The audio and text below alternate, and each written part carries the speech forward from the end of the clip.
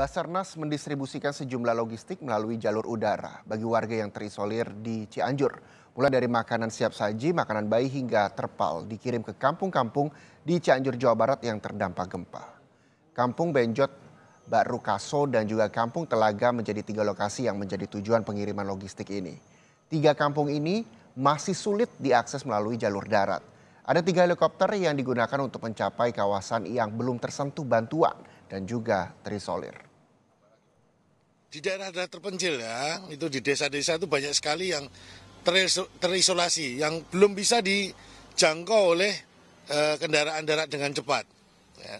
Oleh karena itu kita ingin uh, mengedrop uh, bantuan. Ya. Kita punya heli, kita manfaatkan untuk mempercepat saya sudah mendapatkan informasi mereka membutuhkan tenda, tenda sederhana sebetulnya. Kemudian ini akan kita drop di di posko-posko desa itu yang belum bisa dijangkau, makanan cepat saji dan juga makanan ya, instan sifatnya. Kemudian uh, ya, mereka minta juga makanan bayi dan selimut. Kita bisa bawa dan kita drop sambil uh, kita uh, observasi di sana.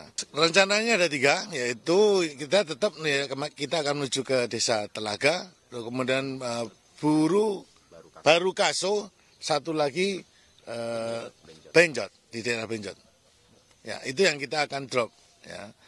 Jadi kita kemarin memang kalau dilihat dari udara itu mereka terisolir ya.